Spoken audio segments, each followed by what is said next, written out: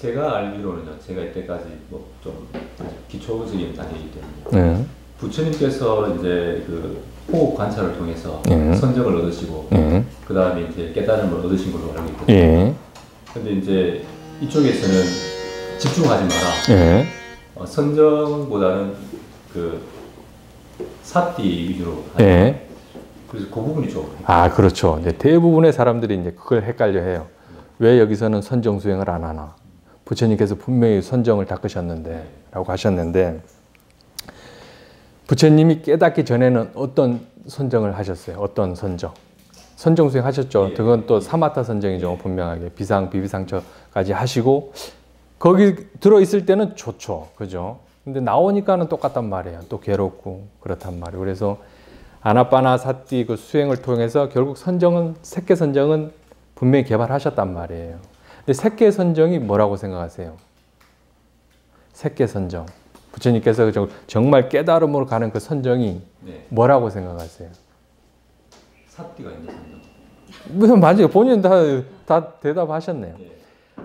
삼마사띠라고 그러죠. 바른 사띠. 그러니까 올곧은 대상에 바르게 사띠를 하게 되면 삼마사띠는 옆에 항상 쌍으로 따라오게 돼 있어요. 그게 삼마사띠의 위력입니다. 그러니까 삼마사띠가 있는데 고요함 이런 바른 선정이 없으면 이건 바른 선 아, 바른 사띠가 아닌 거예요. 예. 쉽게 말해 지금 사띠가 있으면 고요함이 항상 있다니까요.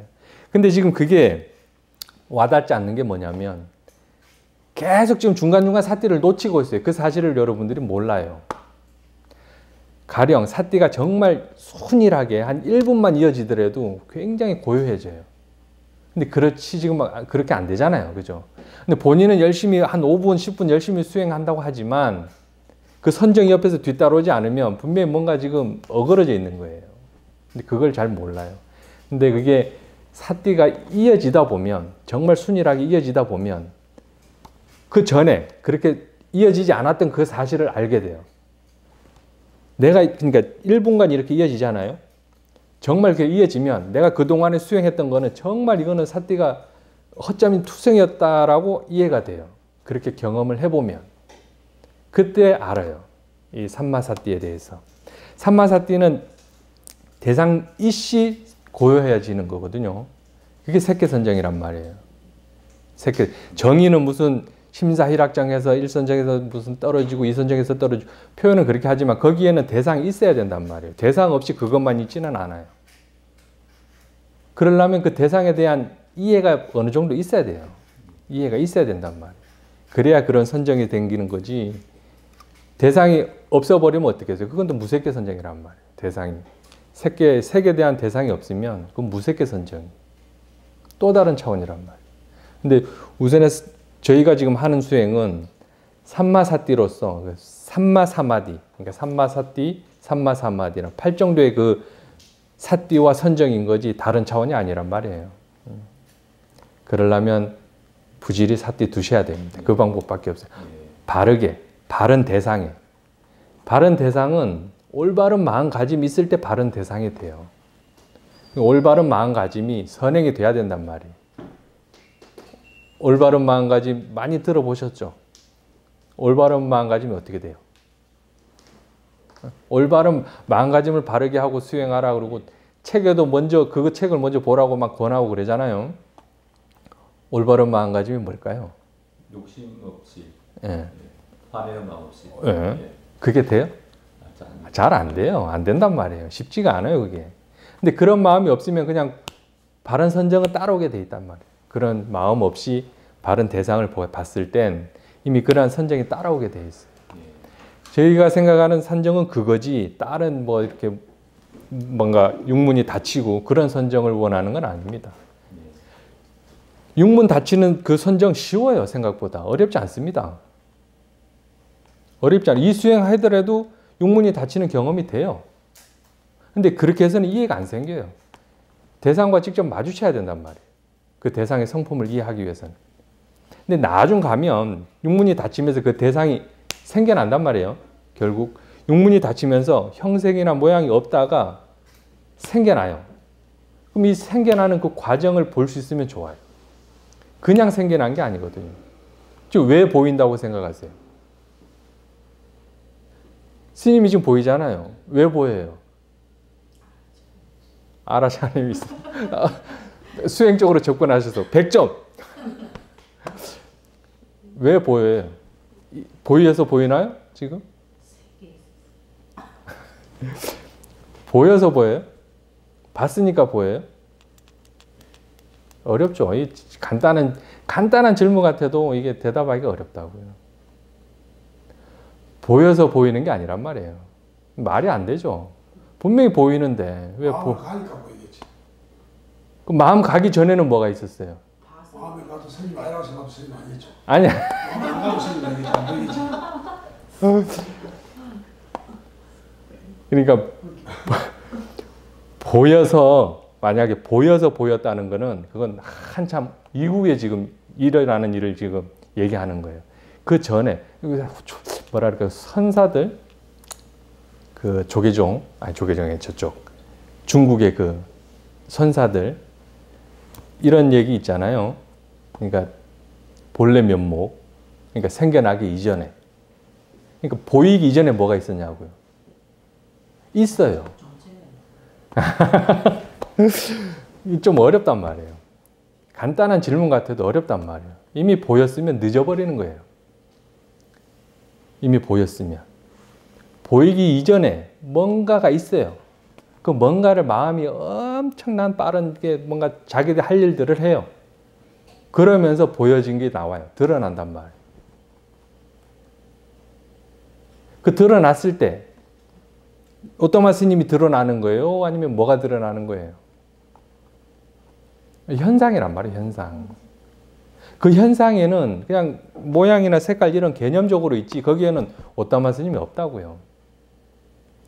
지금 이 순간에도 오타마 스님이 앉아 있다고 지금 개념적으로 이런 뭐라 그럴까 세간적으로는 있죠. 그걸 부정하진 않아요.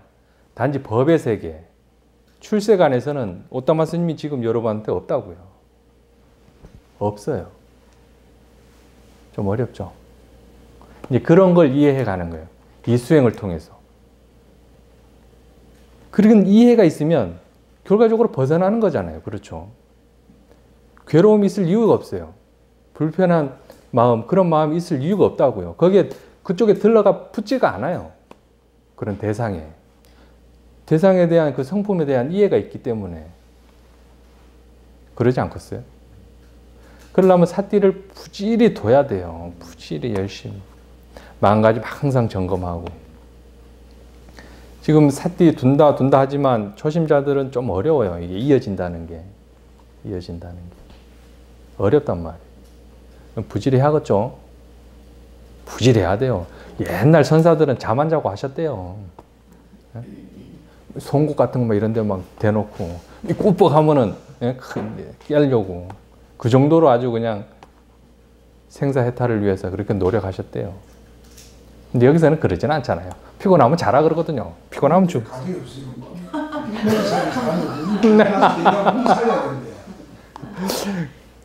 스님 아무리 스님가. 그렇죠. 아니 먹고 사는 것도 중요하죠. 먹고 사. 그러니까 이, 이 상에서 이렇게 사띠를 을 차린다는 게 과연 그게 가능할까? 가능해요. 가능해요. 근데 이제 그 방법 가능할까? 그 방법을 알려드리려고 아, 하잖아요. 예, 예, 예. 그럼 좀 그게 어렵지 않겠나? 왜냐면 당장 뭐 이렇게 이렇게 돈을 벌러가고 열심히 일을 해야만이 돈을 벌지 않고 예. 사람 눈치 보고 하는데 그러니까 그게 뭐랄까 그냥 실체가 없고 다 뭐 뭐라 그럴까 현상이다. 이거는 법의 세계인 거고요. 예, 예. 세간적으로도 살아가야 됩니다. 돈도 벌어야 되고 예, 예. 자식들한테 밥도 챙겨줘야 되고 네, 네, 그죠? 네. 예, 예. 와이프나 이런 거 신랑한테 또 잘해줘야 된단 말이에요. 그거 부정하진 않아요. 그걸 하지 말라는 게 아니라 그걸 하면서도 충분히 수행할 수가 있다니까요. 그렇게 되려면 아까 사사나 스님 잠깐 말씀하셨던 것 같은데 우선 아는 마음을 알아야 돼요. 아는 마음. 쉽게 말하면 그러니까 마음이 모든 걸 지어낸다고 해요. 그죠? 모든 건 뭐예요? 모든 것. 모든 것. 일체. 불교에서 일, 모든 것은 대상이에요, 대상. 예. 대상, 여섯 가지 대상. 색성향 미촉법이라고 하는 그 대상인데, 그걸 마음이 지어낸대요. 그 마음이 따로 있어서 뭐 지어내겠어요? 아니란 말이에요. 지금 이 전체가 지금 다 마음이라고 이해가 돼야 돼요. 실제 그렇고요. 따로 있는 게 아니고 지금 이 전체가 지금 다 마음 안에서 지금 일어나는 일이라고요. 보이는 것도 마음 안에서 일어나는 일이고 들리는 것도 지금 마음 안에서 일어나는 일이란 말이에요. 여러분들 세계에서는 법의 세계에서는 그렇단 말이에요. 근데 그렇게 그 상태에서 나온 적이 없어요. 본래 그래요. 본래. 그래서 수행을 하면서 이렇게 사실적인 것, 사실을 알아가는 거지 뭔가 따로 있는 게 아니에요. 내가 수행을 했으니까 마음 안에서만 살아야 이게 아니라 본래 지금 그렇게 살고 있다고요, 다들. 근데 그 사실을 모를 뿐이에요. 모를 뿐이라고. 근데 그 사실을 알게 되면 지금 그냥 알고 있으면 다 아는 거예요. 다 안다고요, 지금. 소리도 좀 마음에서 지금 일어난다는 사실을 알아요. 보이는 것 또한 그렇고, 감각 또한 마찬가지고, 맛도 마찬가지고, 냄새도 마찬가지고. 이러한 사실을 정확하게 이해가 되면 항상 자리를 잡아요. 가슴 앞쪽에. 이건 개념적으로 설명드리고자 하는 겁니다. 사람마다 다 달라요. 어떤 사람은 눈에 있다 그러고, 소리가 어떤 사람은 여기 이제 귀에 있다 그러고, 사람마다 다 달라요. 처음에는 소리가 저 밖에 있었는데 수행을 하다 보면 이제 여기 와서 이제 들린다고 해요. 어, 소리가 여기 있네요. 그래요. 이치적으로 맞죠? 어떠한 개념적으로 좀 설명돼. 어떠한 파동이 와서 어쨌거나 여기를 때려야 그게 이제 소리가 되는 거잖아요. 그지 않아요? 우주에 나가봐야 소리가 있나? 공기 이게 없는데, 파동이 없는데. 부딪힐 그 매개체가 없잖아요. 그렇단 말이에요. 근데 나중에는 소리가 여기 있다고 이제 아는데 더 발전이 되면 여기도 없어요. 결국 마음에 있단 말이에요. 그렇게 이해가 돼요. 점점 점점. 아까도 말씀드렸지만 이렇게 지금 점점 안으로 끄집고 오는 게 아니라 본래 지금 거기 있어요. 이 사실을 아는 거란 말이에요. 점점. 이 사실을 아는 거라고. 모든 대상이 다 마음에서 일어난다고. 그게 이해가 되면 이제 그걸 아는 마음이라고 표현하는데 아는 마음을 가지고 계속 사띠를 두다 보면 일하면서도 하실 수가 있어요. 일하시면서도. 살림하시면서도 사띠를 할 수가 있다니까요. 살림을 하면. 대화할 때도 지금 사띠가 다 있어야 돼요. 들으면서도 사띠가 있어야 돼요. 할 수가 있단 말이에요. 그게 가능하시겠어요? 예. 어, 좋아요. 그는 마음에 안정이 있어야만 되지 여유로움이 없으면 그게 안될 거예요. 그러니까 마음을 내가 일부러 안정감 안정시켜야지 하실 필요는 없고요. 아까도 말씀드린 것 같은데 결국 바른 사띠가 바른 사마디를 끄집고 간다니까요. 바른 사띠, 그러니까 바른 대상에 바르게 사띠를 하면 바른 사마디, 쉽게 말하면 선정은 따라오게끔 돼 있다고요.